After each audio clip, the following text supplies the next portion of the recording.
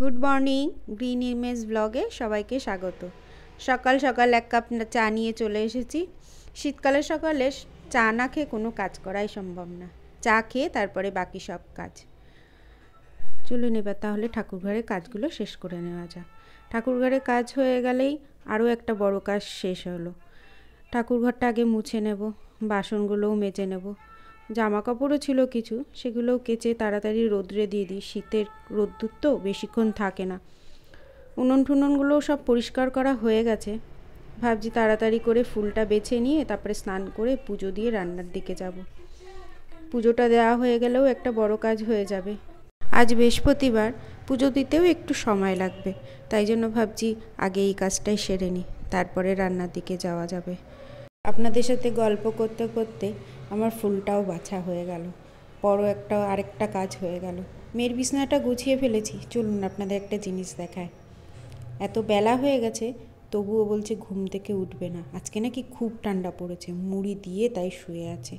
থাক, শুয়ে থাকুক আর ডাকলাম না। আমার পুজো দেওয়া হয়ে গেল, এবার প্রসাদগুলো তুলে নিচ্ছি। চলুন, এক জায়গা থেকে ঘুরে আসি। হঠাৎ করে মা ঘুম থেকে উঠে আমাকে ছাদে গিয়ে বলছে যে আজকে আর রান্নাবান্না করা লাগবে না, চল এক জায়গায় যেতে হবে, নেমন্তন্ন আছে। আমি তো আগে থেকে কিছুই জানি না, যার জন্য আমি রান্নাবান্নার জন্য ব্যস্ত হয়েছিলাম।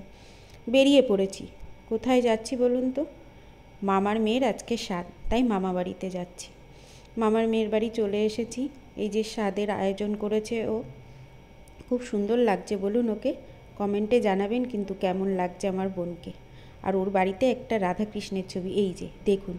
কেমন ছবিটা? আমার তো দেখে খুব ভালো লেগেছে। বারবার মনে হচ্ছে ছবিটা দেখি। লোকজনের ভিড়, তার মাঝখানেও বারবার মনে হচ্ছে ওই রাধাকৃষ্ণের ছবিটার সামনে গিয়ে দাঁড়িয়ে থাকি। ছবিটা এতই সুন্দর লাগছে। খাওয়া দাওয়ার পালায় চলে এসেছি। কি কি খাওয়া দাওয়া করলাম আপনাদের সবাইকে জানাব। রান্নাগুলো কিন্তু খুব সুন্দর হয়েছিল।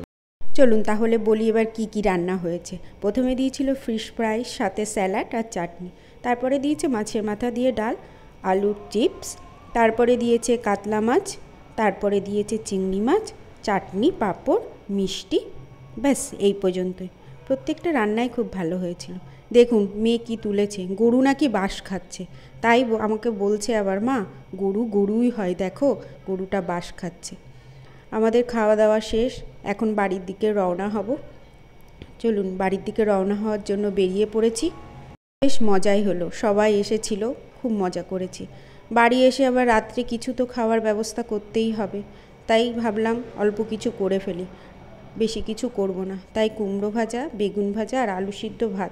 হ্যাঁ সাথে একটু ডিমের অমলেট করে নেব, ব্যাস। শীতের রাত্রে খেতে কিন্তু বেশ ভালোই লাগে, বলুন। চলুন, রাত্রের রান্নাটা এবার সেরে ফেলি। কাটাকুটি করছি, বেগুন ভাজা কাটছি, কুমড়ো ভাজাটা তো কাটা হয়ে গেছে। আর এদিকে আলুগুলোও ছুলে নিয়েছি। আলুগুলো এবার ভাতের মধ্যে দিয়ে দিচ্ছি।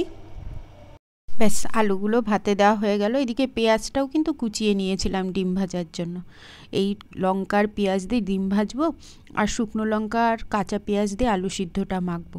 ব্যাস রাত্রির মেনু এই পর্যন্তই। কুমড়োগুলো আর বেগুনগুলো এবার ভেজে নেব। কুমড়ো ভাজা আমি বসিয়ে দিয়েছি। এদিকে ভাতটাও ফুটে গেছে কিন্তু। কুমড়ো ভাজা নামিয়ে এবার বেগুন ভাজাগুলো বসিয়ে দিলাম। বেগুন ভাজা হয়ে গেলে এবার ডিমটাও ভেজে নেব। ডিম ভাজা হয়ে গেলেই রাত্রের রান্না কিন্তু শেষ। তাহলে আর কি, আজকের ব্লগটা তাহলে আমি এখানেই শেষ করছি। কেমন লাগল কমেন্ট করে জানাবেন কিন্তু। আর ভালো লাগলে একটা লাইক করে দেবেন। আর চ্যানেলটাকে সাবস্ক্রাইব করতে ভুলবেন না কিন্তু।